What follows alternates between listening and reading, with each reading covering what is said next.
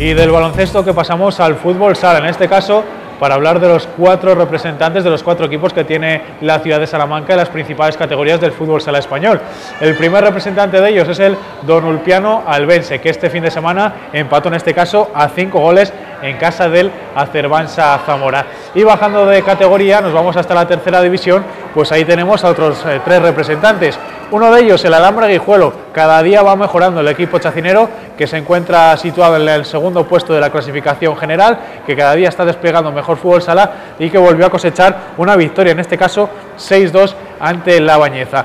Un fin de semana en el que descansó el conjunto del Tres Columnas de Ciudad Rodrigo y en el que perdió el otro representante salmantino que nos queda, es decir, el Confiterías Gil o el Club Deportivo Santa María, como quieran llamarlo. Lo hizo en el pabellón de la Alamedilla, en un partido que no fue bueno, fue superior al equipo de la Cistierna, que se impuso, como decía, en el pabellón de la Alamedilla al Confiterías Gil en un partido que acabó con 4-6 eh, en el marcador. El eh, Cistierna, que era el líder de la categoría y que, como decía, se impuso a los salmantinos que lo intentaron, pero que eh, se vieron superados finalmente por la calidad del equipo visitante el Confiterías Gil, que se queda en el centro de la tabla y que cosecha ya cuatro partidos sin ganar. Vamos a ver si los de Jorge García son capaces de enderezar este rumbo, esta racha que no está siendo nada positiva en los últimos encuentros. Como decíamos, cuatro partidos sin ganar, por tanto, un mes sin eh, sumar la victoria los pupilos de Jorge García. Precisamente con el entrenador del Confiterías Gil, con Jorge García, hablábamos al término de este partido, de esta derrota por 4-6 ante la Cistierna y vamos a ver lo que comentaba el entrenador del equipo salmantino. Jorge García, este era su análisis del partido. Partido a priori que era, parecía iba a ser muy bonito, el marcador ya estaba ajustado incluso, pero bueno, creo que ellos han demostrado un puntito de estar por encima de nosotros, sobre todo la parte de estrategia y han sabido dominar los, minutos finales, los han sabido dominar y es lo que les ha dado el resultado. Eh, pero lo llevamos arrastrando toda la temporada digo los dos últimos minutos de la primera parte como la actitud en algunos momentos de la segunda. O sea, jugamos 35 minutos bien, 5 mal. Y los 5 mal se nos están yendo todos los partidos. Hoy y los otros tres anteriores. Positiva, poca. Eh, sinceramente poca. Quizá la, la reacción después del descanso, las ganas que teníamos, pero yo creo que con ganas solo no vale. Hay que bajar las pulsaciones, hay que jugar más calmado y saber a lo que se juega. Hemos jugado demasiado acelerados y claro, pues no, llegan las jugadas porque no pensamos. No, si la clasificación es lo de menos y el problema es la, el juego, que, no acabamos de encontrar el juego que teníamos en las primeras jornadas.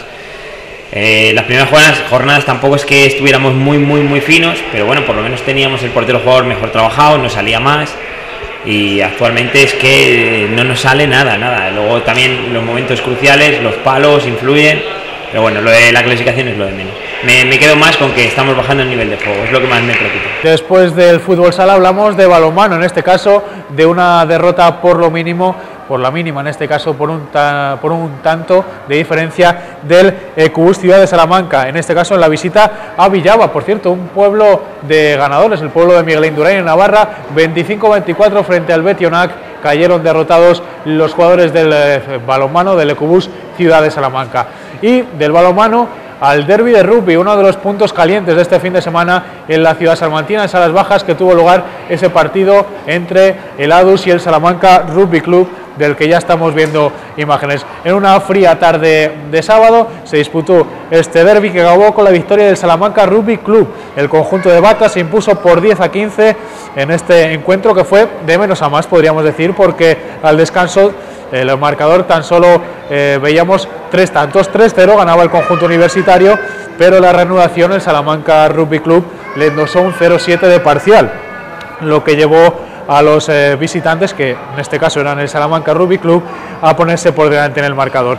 Eh, las alternativas fueron constantes en el electrónico, lo de electrónico es una forma de hablar, ¿no? hablando de una instalación como es a las bajas, y el marcador se volvió a colocar por delante, en este caso, el conjunto de Ladus, el conjunto universitario 10 a 7 y finalmente empató el Salamanca Rugby Club, el conjunto de Bata, para llevarse la victoria a los instantes finales gracias a un ensayo que sumaba esos 10 a 15 puntos finales que reflejó el marcador. Victoria importante, como decía, del Salamanca Rugby Club en este derby entretenido para todos los aficionados al rugby masculino dentro de la categoría primera regional de Castilla y León. Y para terminar nos vamos a despedir con dos curiosidades. Vamos a rescatar eh, dos tweets, en este caso tiene que ver con la Unión Deportiva Salamanca. El primero de ellos tiene que ver con Piojo, con el lateral eh, salmantino que puso en, eh, en, su Twitter después de la victoria del Salamanca.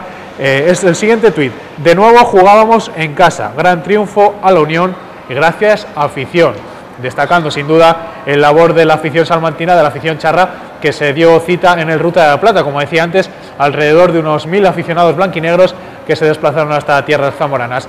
Y la imagen de, cierre, de despedida de esta tercera entrega, de esta tercera entrega de deportesalamanca.com, es una imagen que ha colgado en su Twitter Gorka Echeverría, el técnico de la Unión Deportiva Salamanca, que colgaba, colgaba perdón, esta imagen en su Twitter y que decía que algo muy cercano a la perfección debería ser esto. La imagen, como ven, es un plato con un pescado, una botellita de vino, vamos, que se lo estaba pasando en grande en su tierra, en Donosti, el entrenador de la Unión Deportiva Salamanca, Gorka Echeverría. Cada semana vamos a ir metiendo nuevas secciones, como en este caso la de Twitter o la foto del día. Vamos a ir sumando nuevos protagonistas para que la familia de Deportes Salamanca vaya creciendo poco a poco y que también ustedes tengan una visión panorámica del deporte salmantino y de todas las disciplinas deportivas que se practican tanto en la propia capital como en la provincia, tanto en fútbol, en natación, baloncesto, fútbol, sala, rugby, bueno, ya lo han visto, variedad sobre todo en este menú que les presentamos aquí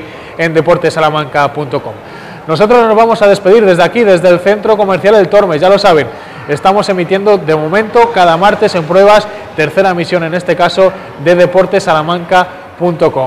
Con la producción de Producciones y Sopro, tras las cámaras estuvieron los compañeros Felipe, Fran en la otra cámara y también estuvo Santi por ahí haciendo de las suyas. Sin más, nos vemos la semana que viene. Muchas gracias por estar ahí. Ya lo saben, todo el deporte a un clic.